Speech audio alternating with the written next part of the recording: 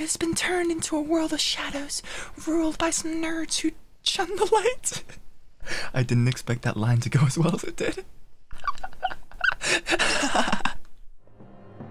Who is this?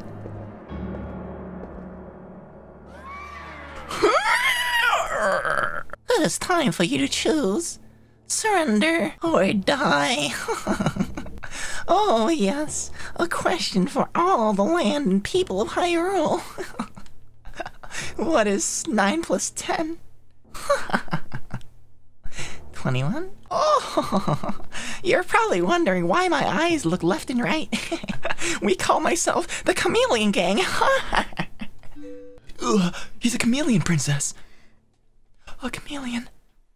I can't. I don't. I don't stand a chance. And that is how the chameleons took over Hyrule.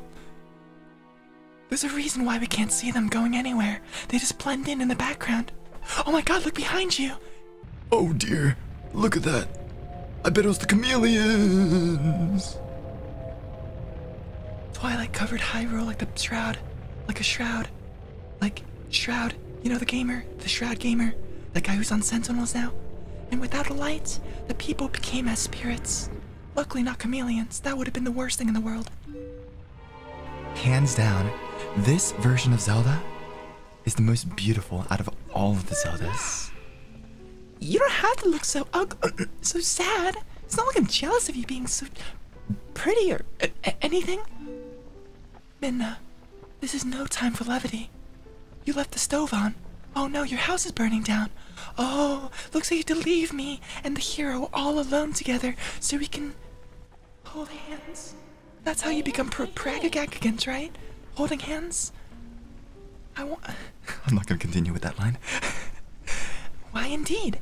You tell me. Boing. You must leave here quickly. Before me, give me a smooch. Oh? Oh? Well,